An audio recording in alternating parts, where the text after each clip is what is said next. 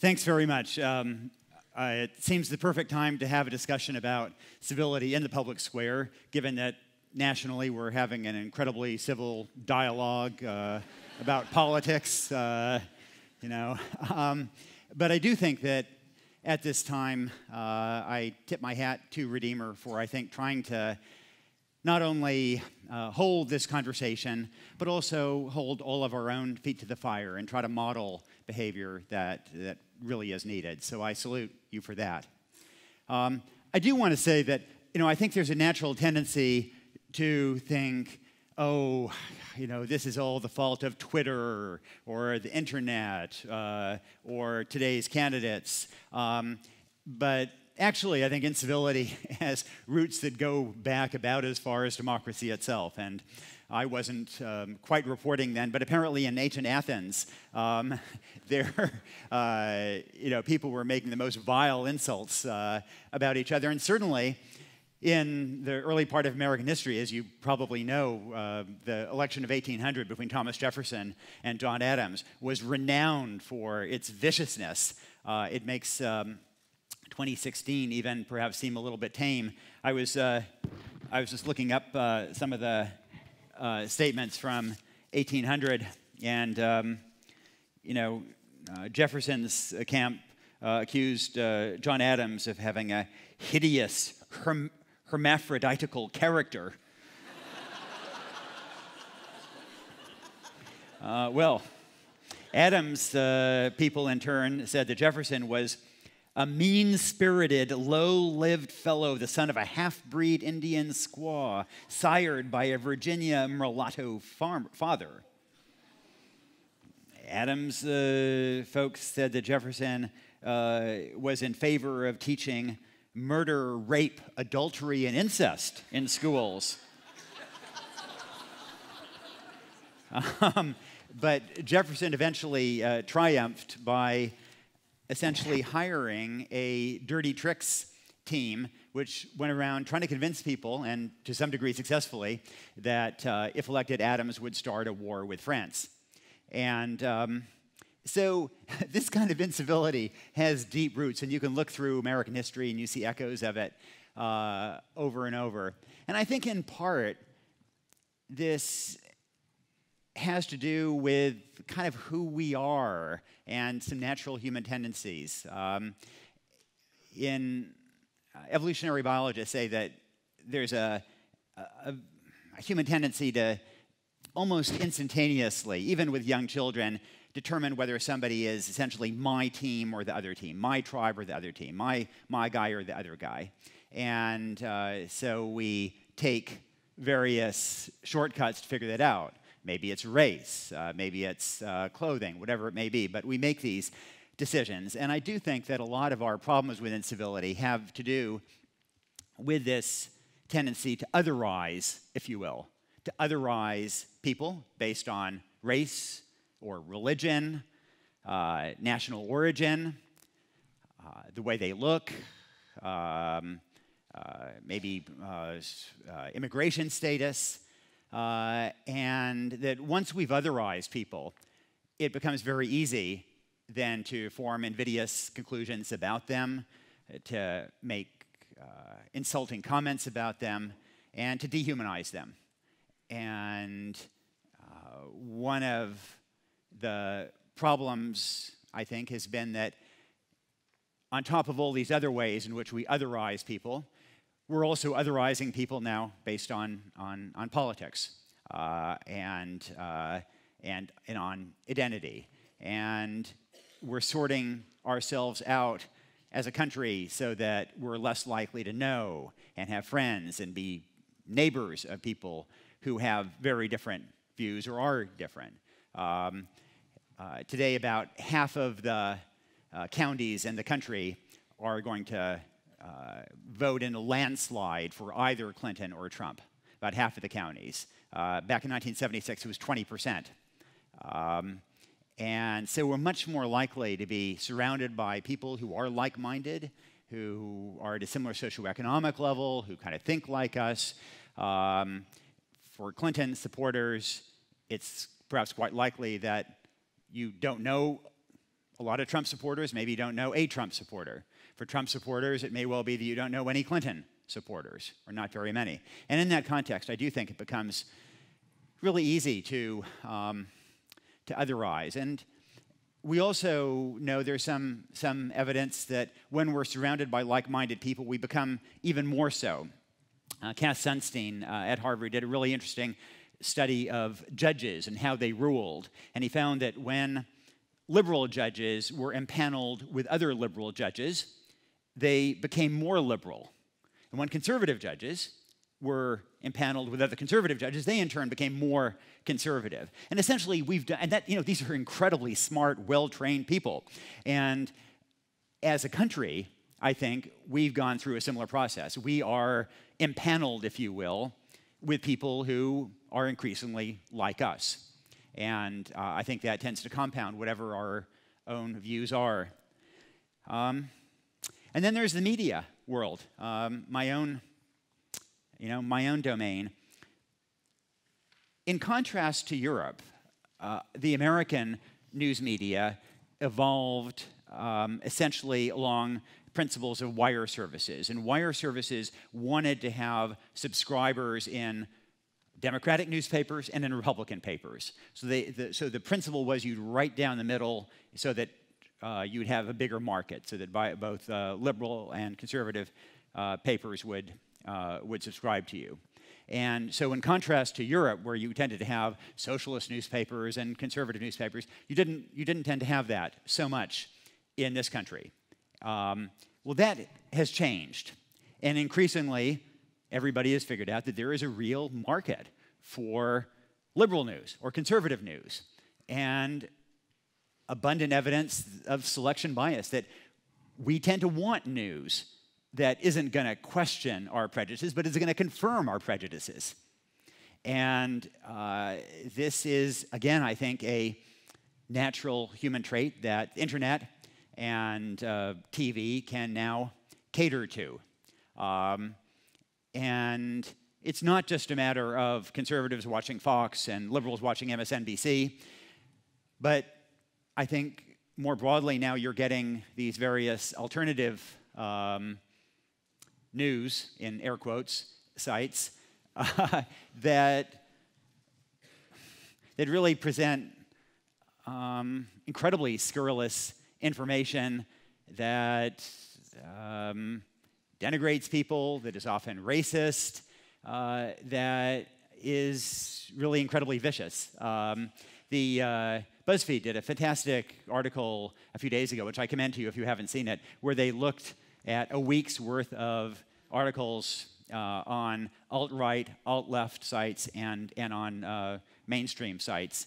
And uh, what they found was that 20% uh, of the um, news, so to speak, on the, um, uh, the, the liberal sites was completely, completely fake. Really didn't have any, any much basis in reality. 40% of the news on the alt right sites was that way too. And I must say, it often had a, had a real racial uh, or racist element to it. Uh, it's really worth checking out some of these sites if you haven't done it.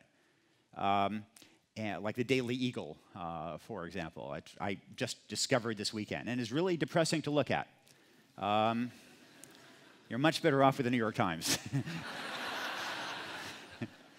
um, but the upshot is um, there was a, uh, a scholar at MIT, uh, Nicholas Negroponte, who wrote years ago about the dangers of developing a media product uh, called the Daily Me.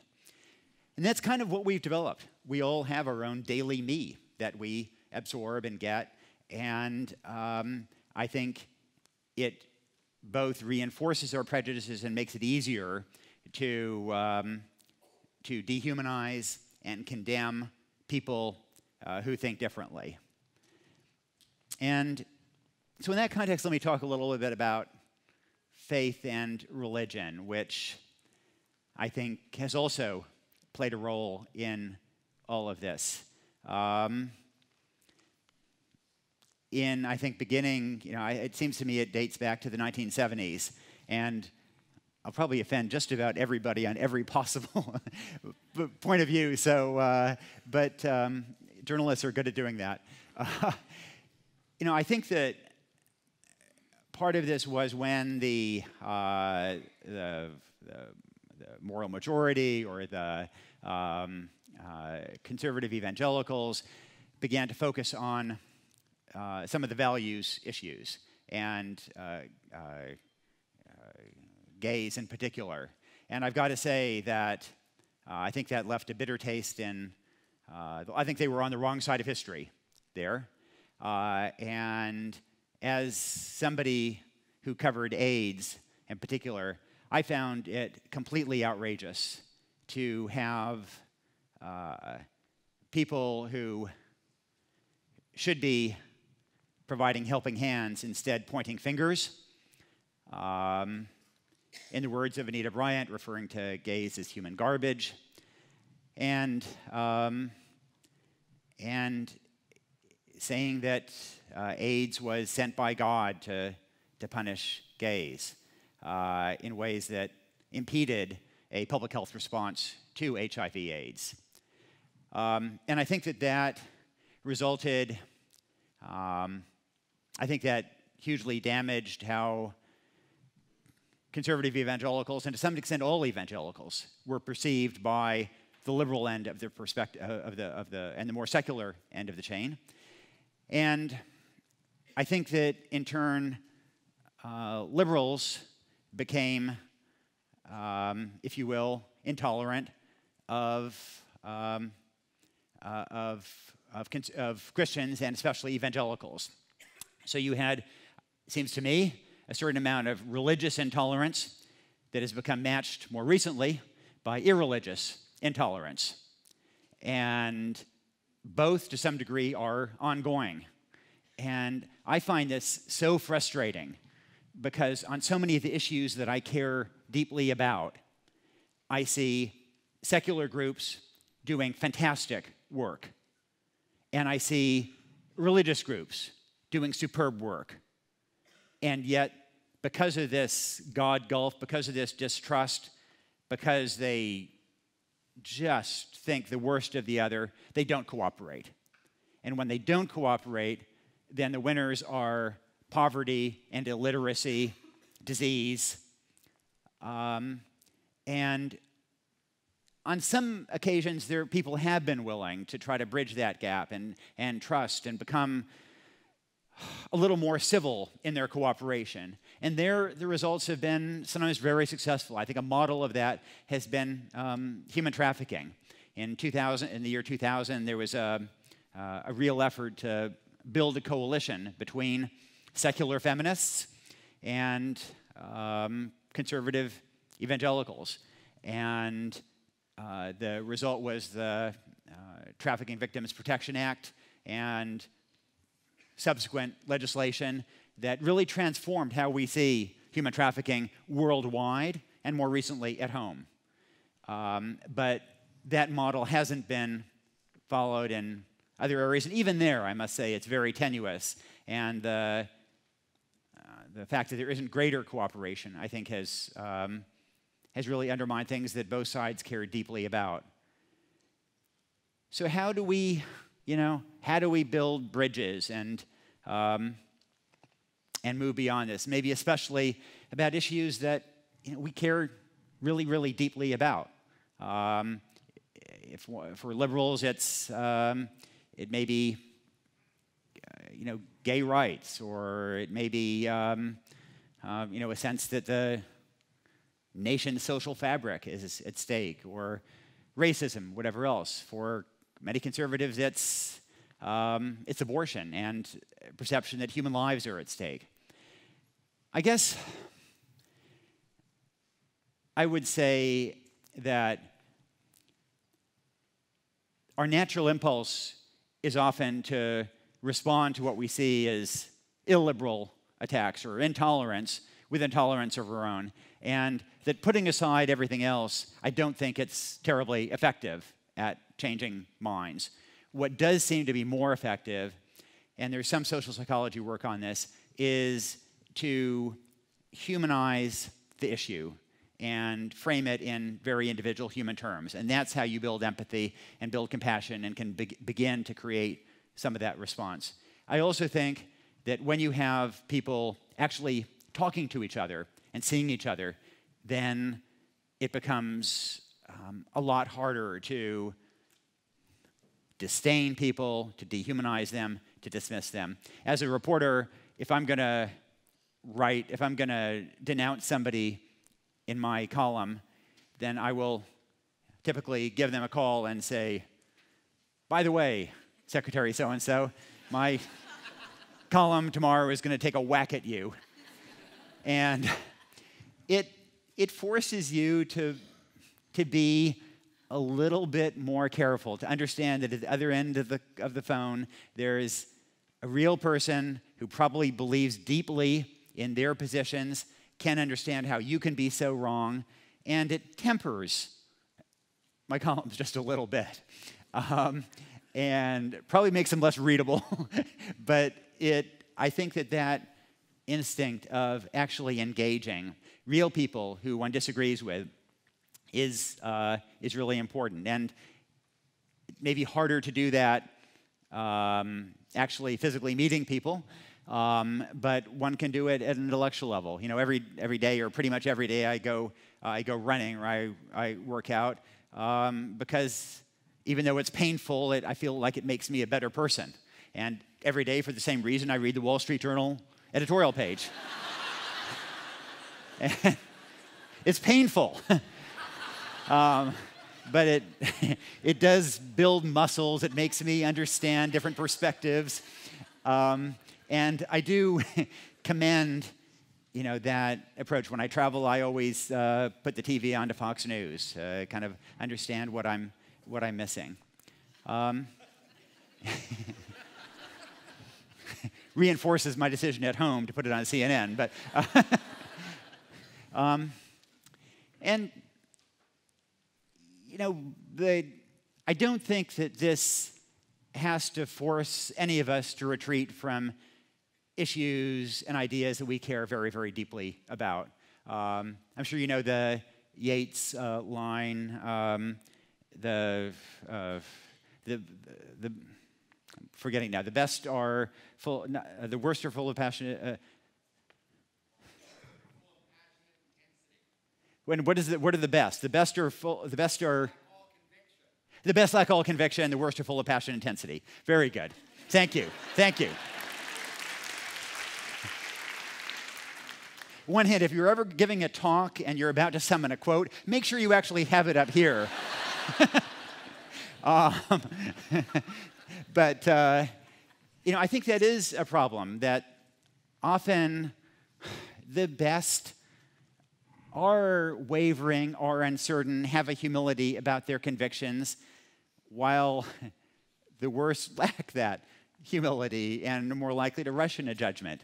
Um, but I do think that one can have some humility about one's views. And uh, I'm, Sir Isaiah Berlin is my, the philosopher maybe that I admire uh, the most. And he, he wrote about how it is possible to acknowledge, to realize that you may be wrong, that it's a complicated world, that there may be other factors or other things that will change, that not everything you believe in is going to be an eternal truth, and yet to believe in it and to act on it because it is the best information you have. And where there are issues of refugees or of genocide or racism that I cover, I realize that I may not have full information, that I may get it wrong but it still seems to me incumbent upon one to try to mitigate those wrongs as one perceives them, and yet to try to do that in a way that acknowledges the humanity uh, and autonomy of those with whom we disagree. Thanks very much for having me here. I'm looking forward to the conversation afterward.